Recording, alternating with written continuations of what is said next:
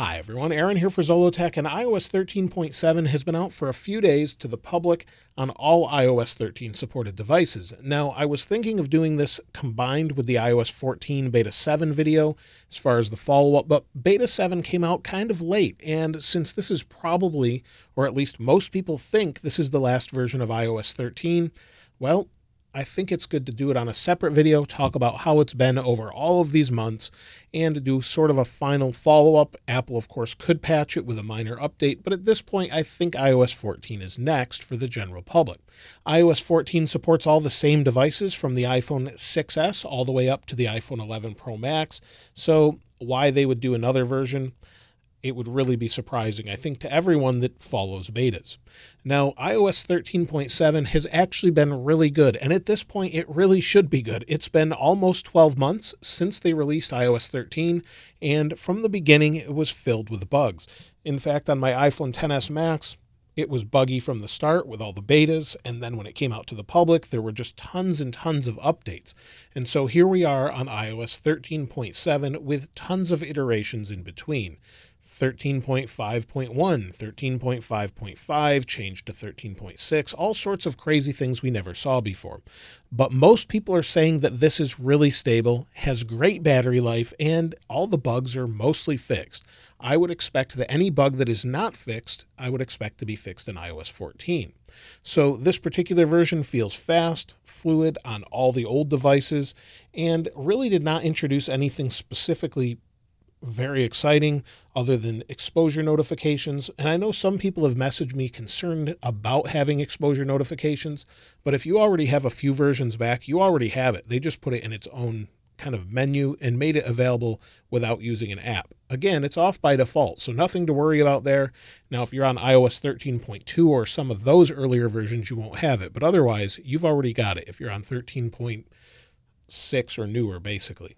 Now, this particular version is smooth, like I said. It's performing well. There's not really any issues. We'll go into shortcuts. You'll see everything's just fairly snappy, even on older devices. So I know a lot of people get concerned about updating their older devices with newer versions, and you'll see that's the first time I've opened the App Store on this device, and it's just nice and fluid and fast like you would expect. If we go into, say, well, let's open books. I haven't opened books in a very long time. We'll go into that, especially on the iPhone 6S. You'll see if we go into the library, there's a few here. So in general, it's actually performing really well, and even on older iPads. So if you have the oldest iPad mini up to this oldest iPad Air 2. Again, it's performing really well, so no issues here. Games are fast, games are fluid. Games like Pokemon Go are going to work just fine on this version, where they won't work on iOS 14 Beta 7 for some people. So, as far as issues people are having, well, there's not really that many. In fact, based off the issues in the YouTube community poll that you can see here on the left, a lot of people mention battery so that I could tally that and let you know how it is, and I'll talk about that in just a moment. But everything from battery to heat to RAM management to it freezing, it's very few and far between as far as people having an issue. There's one person out of over 200 comments that was having an issue with LTE, for example, and only three people reporting freezing or lag at some point. That's incredibly low when it comes to software on iOS. So it really seems like it's refined at this point, but based on every other year, iOS 14 should be much better. Now, here are all the devices that you're using based off the YouTube community poll. And based off that poll, 83% of you said that battery was the same or better than earlier versions of iOS 13. So most people are very happy with it. Only 16% are having issues with it. And usually that's right after installing it. You installed iOS 13.7, it took a while, did a bunch of background activity, and then it improves after a day or so. That's very typical of how updates work. So give it a day or so. If you just installed it, it should improve. But this is incredibly high. 83% is higher than I've ever seen before with any update as far as people saying battery is better. So mostly it's fixed. If you're still having battery issues, well, then you need to check some of your apps. This particular device, I would expect eight hours of battery life, seven, eight hours at 100% battery health. Updates will not affect your battery health. So just keep that in mind. So anytime you do an update, it's just checking the physical hardware of the battery. So, a lot of you are going to ask me if you haven't already updated, should you update to iOS 13.7? And I would say absolutely at this point. Most people are experiencing better battery life, over 80%, like I said earlier, and the smoothness and stability should be what you expect at this point, given that this is probably the last version of iOS 13.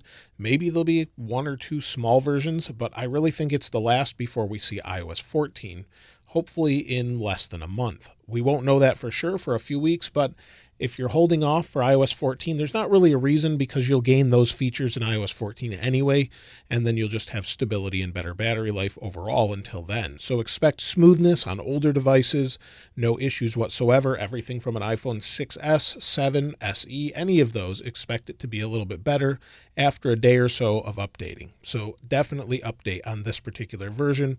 Otherwise, I see no reason not to. And then, of course, look for iOS 14 in the coming weeks since your device is already supported if it supports iOS 13. Now, let's take a look at the YouTube community poll and see what you had to say. Now, here's the YouTube community poll, and you can see there's over 10,000 votes, which is really incredible to get this amount of data and feedback and give you a general idea of how you should expect iOS 13.7 to be for your device. There's 238 comments at the time of this video, and 42% of you said that iOS 13.7 is great, 4% say it's terrible, 7% say it's okay but has some bugs, 22% of you have not updated yet, or you're on older versions, and 25% of you are on iOS 14 Beta 7. So not everyone is using betas, and that's okay. That's what I expect. But quite a few people are saying it's great. But based on the comments, I would say that number is much higher. I was surprised that it's only 42, to be honest. So let's take a look at some of the comments. Now, the first comment, or the newest comment from five minutes ago, is from V3 1.4. I think it's running okay. Battery is okay too. I'm going to check it regularly because I updated yesterday connectivity issues still remain, and there's lag in touch. And like I said, only a few people mentioned that there was any sort of lag whatsoever. So maybe a reboot would fix that. Hopefully, it would take care of it. Dorian says it feels the same, but still doing great on my iPhone 10s Max. Isaac Booth says seems to be working great on my iPhone 10 and iPad OS is working fine on my sixth generation iPad. I have noticed that settings will freeze for a couple of seconds after launch, however, not too concerned with that though iOS 13.7 on iPhone 10 with 85% battery health. Performance is great, and the battery can still get me through most of the day. Dion Soto says, So far it's been great. Battery life on my iPhone 11 Pro has been stable, and the performance is superbly fine. I have no complaints, and the issue that I've been having with AirPods Pro that greatly bothered me has been fixed outright. I no longer have to entirely reset my AirPods Pro whenever I want to use it. Keep up the great work. Thank you. Angelica Martinez said, I'm using the iPhone 10s Max since iOS 13.6.1. the battery life has been improving. Such a difference with other versions of iOS 13. Before iOS 13.7 came, it wasn't that great, and the battery life and some bugs here and there. iOS 13.7 is very smooth, just overall great performance and improved battery life. Kevin's channel says iPad OS 13.7 is smooth and stable on my iPad 6th gen. iOS iPad OS 13 is good, unlike before. Can't wait for iOS iPad OS 14. Alesh Patel, hopefully I'm saying that right. It has great battery life and stable. I'm using it on my primary device, iPhone 11 Pro Max. Dilip says, finally, my iPhone 10s battery was great now.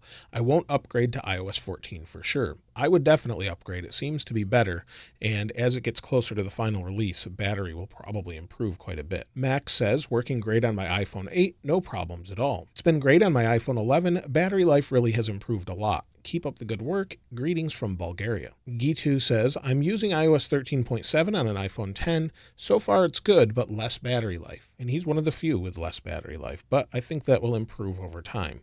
We'll read a couple more.